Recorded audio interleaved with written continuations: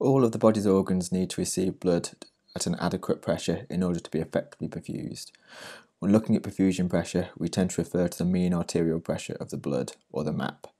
The MAP is a number that normally comes in brackets at the end of the blood pressure on your monitor and represents the average blood pressure throughout the cardiac cycle. In this case, we can see that the patient has a blood pressure of 110 over 55, giving them a MAP of 73. At the bottom of the screen, we see a heart representing the cardiovascular system and the blood pressure it can produce. At the top, we see the brain, the organ we are trying to perfuse.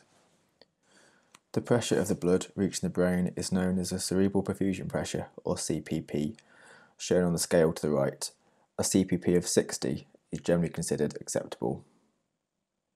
As we can see, the patient's current map of 73 would seem easily adequate to perfuse the brain.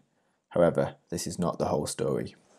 As we saw in the previous animation, the brain itself is always under a certain amount of pressure, known as intracranial pressure, or ICP.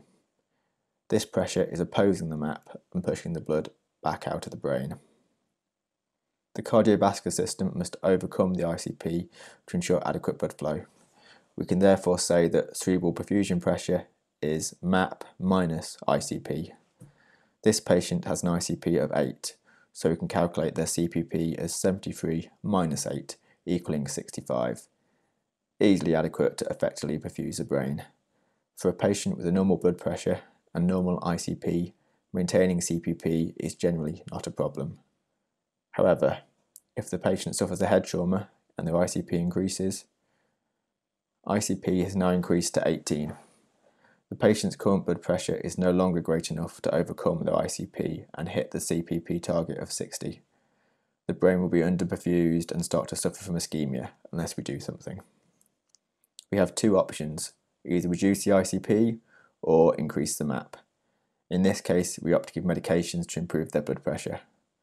Their new MAP of 90 is now adequate to overcome the raised ICP and push the CPP above 60 again.